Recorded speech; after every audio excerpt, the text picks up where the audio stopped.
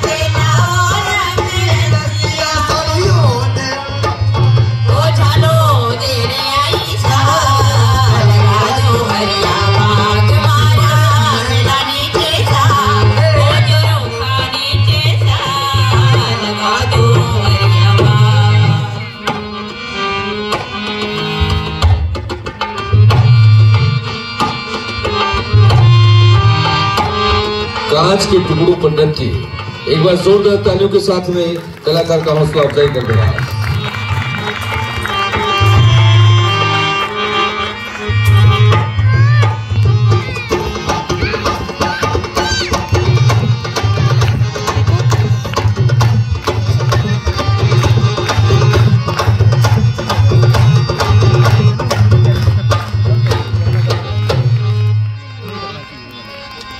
पता उनको पता नहीं कैसे करना